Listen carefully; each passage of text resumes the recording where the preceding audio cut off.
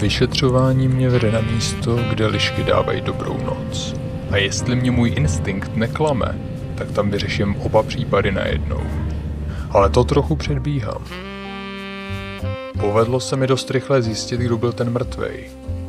A zatímco policie prohledávala jeho byt, mně se podařilo najít jeho skrýž.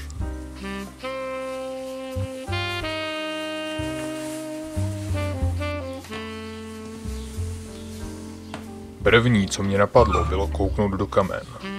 Tyhle typy nejsou moc kreativní, když chtějí něco schovat a mě nevadí už pinici ruce.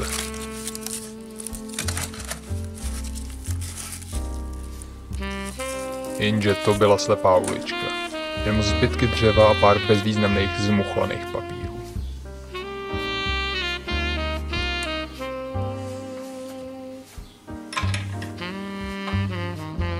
Nezbylo mi, než to tam obrátit vzhůru nohama. Projít každý šuplík, každou skříň, prohrabat knihovnu, jestli tam něco neschovával. Nikde nic. Žádná stopa, žádný vodítko. Nakonec jsem se dokonce odvážil rozhrabat ten jeho zablešený špinavý pelech. A usmála se na mě štěstěna. Pod matrací ležel zápisník a v něm adresa s místem, kam měl Luke doručit. Hned druhý den jsem vytáhnul svůj odřený kufr a začal balit. Bylo jasný, že řešení mě nečeká v Praze a rozhodně to nebude procházka růžovou zahradou.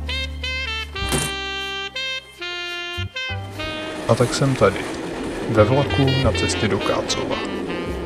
Ať už za tím vším stojí kdokoliv, brzy se spolu střetneme tváří v tvář. A to bude jeho konec.